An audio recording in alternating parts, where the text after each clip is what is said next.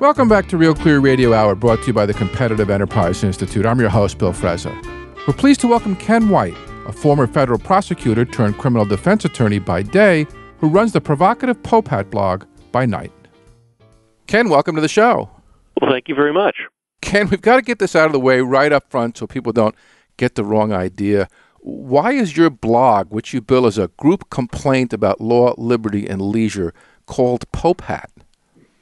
Well, it's kind of an inside joke. Some friends uh, were fond of playing poker, and one of them used to make an origami Pope hat out of uh, whatever dollar bills were present. And it seemed that whenever he wore the origami Pope hat, he could not be defeated. He was infallible.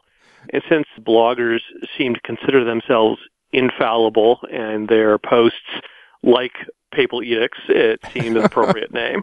it fits. I, I enjoy reading your blog so much. Give us a feeling of what sort of topics you focus on. Well, over the years, we've come to focus a lot on free speech issues, both legal and cultural, and on sort of explaining some of the intricacies of the legal system in a way that makes sense to people, and hopefully in a way that's entertaining.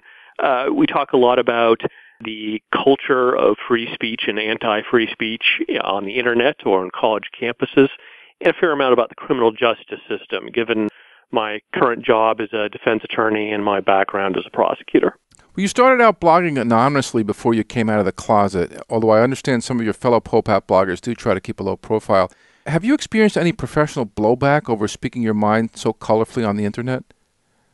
Not a lot, but a little. I had a case where I was representing another blogger pro bono in a free speech case, a rather frivolous lawsuit filed mm-hmm. against him in federal court. And the plaintiff's lawyer pulled a quote from one of my posts and put it in a brief basically for the exact opposite proposition that I had set it for. Hmm. And uh, the judge seemed to buy it. It was sort of a snide remark about the client uh, being a prosecutor and sort of a friendly jab at him from the defense side. And uh, that just sort of goes to show that you can be sarcastic and mean to be sarcastic, but that doesn't mean that everyone will always pick up the sarcasm. But for the most part, no, I haven't gotten any serious blowback. But then I'm lucky. I mean, I, I am a partner and I have my name on the door, mm. so I, I don't suffer the uh, same vulnerabilities that a lot of people out there do. You don't have to worry about firing yourself. Exactly. Do your kids give you grief? The kids uh, are pretty oblivious to it. uh, I think now and then my, my son refers to me writing or blogging derisively, but they seem to regard it the same way as they do Facebook, meaning, you know, for old people. Uh, let's get to some more serious issues. You recently wrote that this may come as a surprise, but I'm a supporter of safe spaces. Actually, it surprised me. You go on to say you support safe spaces because you believe in freedom of association. To what extent do we still have freedom of association in the U.S., and how would your concept of safe spaces apply on college campuses? Well, it would apply only with great difficulty on college campuses these days. You know, I see it legitimate that people want to get together with like-minded people and feel safe in a group. And if they want to do that, more power to them. If you know, you can put it negatively. If people want to shut themselves off from the world and avoid uh, ideas they don't like, then let them congregate with other like-minded people. But on college campuses, that's increasingly difficult. There's been in the last few years a move to force groups to admit people who don't hold the group's views. So, for instance, the Supreme Court upheld rules at public schools that basically said that a Christian student group could be forced to accept people who didn't adhere to the particular faith mm-hmm. values of the group under anti-discrimination principles. So, sure, purely private clubs, everyone still has the ability to do pretty freely, but to the extent that you want to do public supported clubs or official college groups or things like that, it's somewhat difficult to uh, really make a safe space that's only like-minded people. You know, some people might disagree with me whether or not that's a good thing. You also said that safe space can be used as a shield or as a sword. What did you mean by that? Well, what I mean is this. If I decide that, you know, I don't like people who are talking about some particular topic, I can decide not to hang out with them. I can hang out with my friends instead. If I find some particular position on the Middle East or on gay marriage or on the economy to be obnoxious, I can just avoid people who talk about it. That's safe space as a shield. It's my voluntary association with other people. What I mean by safe space as a sword is when people, for instance, students on college campuses, aggressively assert that they have a right to make the whole campus a safe space, by which they mean a space safe from views they don't like. So when people say certain speakers shouldn't be invited to the school by anybody because it, it makes them feel unsafe, that's safe space as sort because it's not just saying I shouldn't be forced to go uh, listen to this person, uh, which no one is unless you go to Liberty University. It's saying that this person shouldn't be allowed to speak on campus just to, because just the existence of this opposing view on campus makes me feel unsafe. When you talk about the right not to be offended, you wrote that the market rather than the courts could secure such a right through branding and advertising. Get into that a little bit. Well, sure. No one has any sort of constitutional, or I would argue moral right not to be offended. Uh, that right can't be reconciled with the right to free speech, right? Mm. If I have a right to speak my mind and you have a right for me not to speak my mind, if it offends you, then those two things are in, in fundamental conflict. But, I mean, the market can handle it. What I mean by that is this. If uh, my views are obnoxious and offensive, then people are generally going to avoid me. Uh, my views will be unpopular. People will not agree. People will not follow them. I will not find myself a popular fellow, and that's that's the marketplace of ideas taking care of offensive and obnoxious ideas, rather than some sort of official sanction taking care of them. Well, you went on to talk about something you called Snowflake University. Well, that was kind of a mostly tongue-in-cheek idea mm-hmm. I had that if students are so sincere in wanting a safe space, then you could really have colleges kind of engage in a market. So you can make decisions about am I going to go to the college that agrees that everyone has a right to be safe on campus and there should be no offensive ideas. Uh, should, do I want to go to a college organized that way? Or do I want to go to a college organized around the idea that college is a place for a wide variety of ideas, some of which we're going to find offensive, and that short of things that are illegal, we're going to expect you to not like it, but to tolerate it. And my hope would be that many people would go to the real, what I'll call the real university that enjoy a broad variety of ideas. But I'm getting uh, increasingly pessimistic about whether people would go to the real universities or to Snowflake U, where they are told that will keep you away from ideas that upset you. Well, some colleges are busy constructing online systems where students can anonymously report microaggressions, presumably so that an offender registry could be built to support things like disciplinary reviews against students or, or tenure reviews against faculty. Why is that any different than Yelp reviews for restaurants? Well, how it's different depends on what the university does with the information. If a university creates a sort of college Yelp for people to gripe about fellow students and professors, I, I might think it's unseemly. But as long as the information is not used in any official sanction, I don't think it's really a violation of free speech. It might, you know, encourage a somewhat Orwellian atmosphere, but if they're not saying, well, you know, this student complained you said this, so you're not getting tenure, mm. or this student complained you offended them, so you're suspended for a semester, then it's not really a free speech violation. It's just a somewhat creepy application of free speech. But my concern is in a lot of these places that you're going to have anonymous people claiming that you were offended, and then you're going to have that triggering official investigations where you're required to answer questions and where you might be suspended or disciplined or forced to attend some sort of sensitivity training if someone didn't like your opinion. Why do you think it's a good thing for America to see how mainstream the spirit of censorship has grown? Well, I think too many of us are too complacent.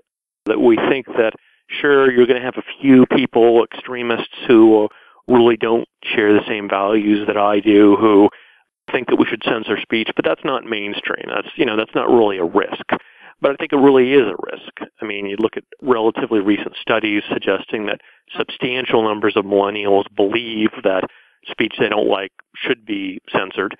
You look at the prevalence of censorship and censorious attitudes on college campuses, and it's mainstream. It's a risk. Mm. The idea that we'll normalize censorship and denormalize traditional values of free speech are real and present, not any sort of abstract or theoretical thing. And I think that the more nutty students and uh, nutty professors that we see in the news, the more people will realize that it's an actual danger. Ken, one of the things you've written about in your blog is called a heckler's veto. What is that and how is it treated in law? A heckler's veto is the idea that the government might censor speech because people listening to it are going to get agitated and cause trouble.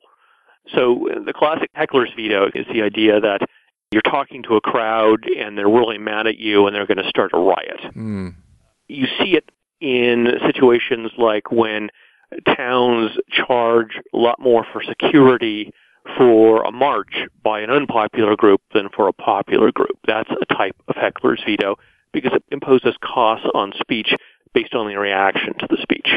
And in general, in American law, courts have not allowed a heckler's veto to be official. They have not allowed the government to stop speech just because people react to it unhappily uh, or even violently, Mm. except in very narrow circumstances. Well, we're starting to see this across the news, particularly as we get into the political season, where counter protesters will show up at protests or demonstrators will show up at political rallies. We're seeing these things on cell phone videos that are captured by bystanders. How is this likely to get sorted out in the courts in the years ahead? Well, we've seen just relatively recently an important decision out of the Midwest where the United States Court of Appeals for the Sixth Circuit took a case involving a bunch of anti-Muslim protesters at a Muslim cultural festival. Mm. And basically these guys were there and they had a pig's head and they were shouting all sorts of, you know, bigoted and obnoxious things at these people at the festival. And because there was a crowd that seemed like it could get violent, the cops forced the protesters to go away, told them if you don't stop and go away, uh, we're going to cite you Mhm. for disturbing the peace. And what the Court of Appeals said was that that's a classic heckler's veto and you can't permit it. That the government can't just say, well, because you're upsetting people, we're shutting you down. They can only do it when there's a genuine immediate danger that they can't resolve, and there was no indication here that the police made any serious effort to protect these people or to prevent a riot from happening. Ken, speaking of obnoxious protesters, talk to us a bit about Twitter trolls. Where do they fit in our culture and legal system, and do they have any redeeming qualities? well, I'd say that depends on the Twitter troll. I think that there are satirists and people on Twitter who can make very deft social and political points by doing things that you might call trolling.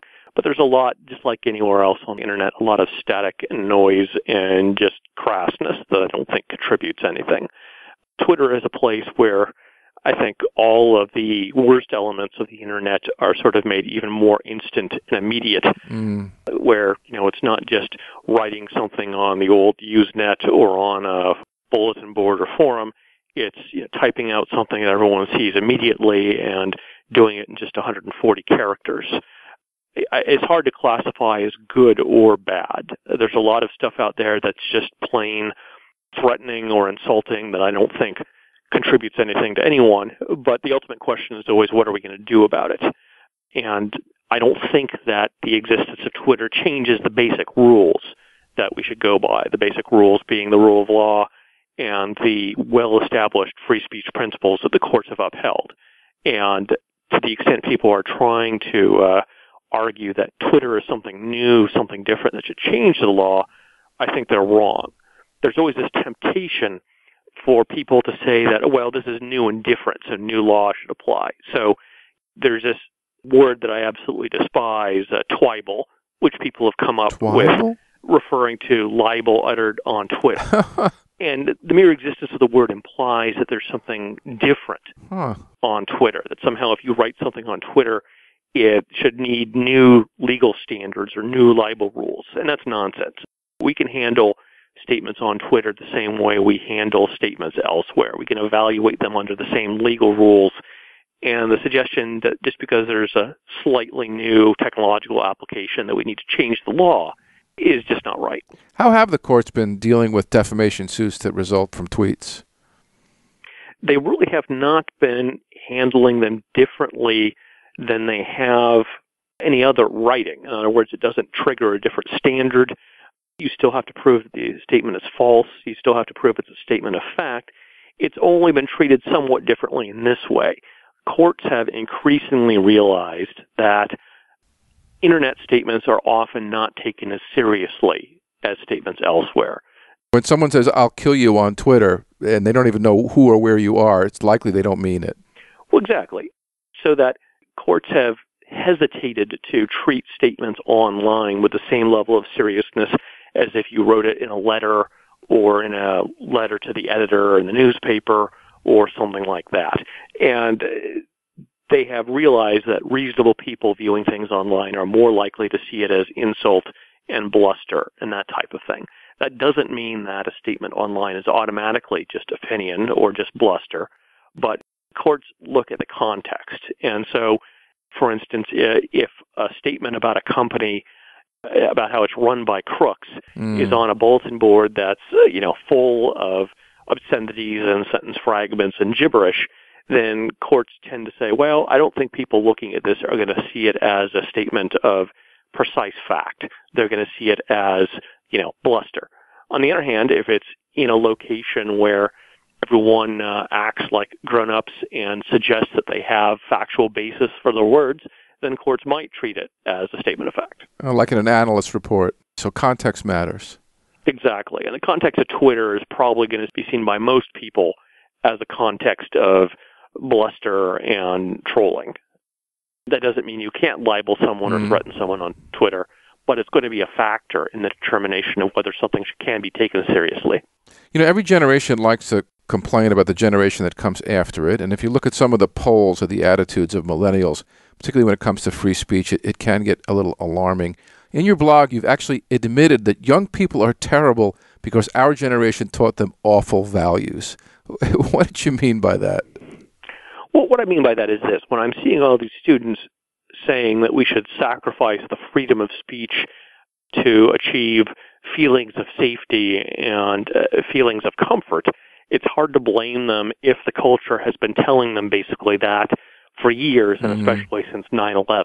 Uh, if there's a drumbeat that we have to, in order to keep ourselves safe from terrorists and all the dangers of the world, that we have to give up basic freedoms, basic liberties, if we have to put up with the TSA guy groping us, even though there's no indication that the TSA ever successfully detects terrorists, mm. just because it might make us feel more safe or it might make us safe, then it's hard then to turn around and get mad at these same kids when they pick that up and apply it to other situations.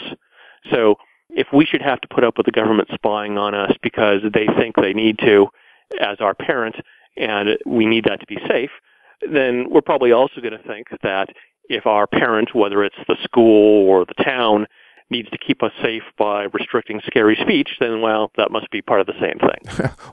Won't we baby boomers get the last laugh when the government forces these kids to pay our wine bills after we retire? or dialysis, right, either of those. or both. Well, um, yeah, I, I, I'm between the baby boomers and the millennials myself, and I see it as something where as the baby boomers head off to retirement homes and uh, to Florida and places like that, they might wind up spending more time online. That might change the online culture and the speech culture in ways that we don't currently anticipate. That's and who knows what an internet dominated by 80 year olds rather than by 14 year olds might be like. Well, Facebook has certainly aged. If you look at, the, at who's on there now, it's grandma. Oh, absolutely. You know, if you ask your kids, uh, anyone you know under 18, whether they use Facebook, they'll roll their eyes at you like you asked them whether they take Geritol.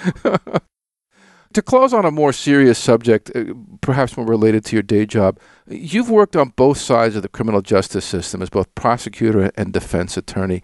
How significant is the problem of prosecutorial abuse? Well, it's very significant, and what's significant about it, I'm not saying is so much the magnitude or the frequency as the failure of the system to confront it. Generally, it's not detected. Generally, when it is detected by courts, it's excused or brushed aside. And generally, even when it's proven, it doesn't result in real consequences. The culture, for the most part, is wrapped up in the notion of law and order that you know what we do to keep everyone safe justifies mm-hmm. any uh, lack of niceties and that anything about rights is a matter of technicalities and lawyer tricks because of that we have situations where prosecutors are able to do dramatic violations of defendants' rights and it's just written off as something that's not significant or not important next to the value of making sure whoever did it, you know, gets what they deserve or not letting you know, lawyers get people off on so-called technicalities. You really have a system where prosecutors are very rarely disciplined in any substantial way, no matter what they do, where bar actions against prosecutors are incredibly rare, and where the prosecutorial institutions that are supposed to police them generally don't do much of a job of it. And so you have very few voices speaking out about this. You have, for instance, Judge Alex Kozinski, who's a, sort of a maverick judge on the Ninth Circuit, can't really be classified as conservative or mm-hmm. liberal. He's sort of libertarian, who's been really going off on how significant this is and how bad of a job the courts have done about it.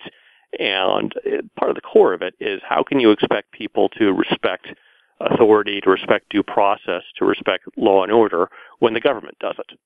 And what moral standing does the government have to enforce rules that it doesn't follow itself? How can we shine more of a light on this? Well, we need to do a few things. We need to build up institutions that inflict more significant consequences for misconduct. And I mean that both in terms of having an impact on cases so that if there is misconduct, it's actually going to tank a prosecutor's case. And I mean it in the sense that prosecutors who engage in misconduct should face career consequences. Mm-hmm. But there also has to be basic attitude and cultural changes.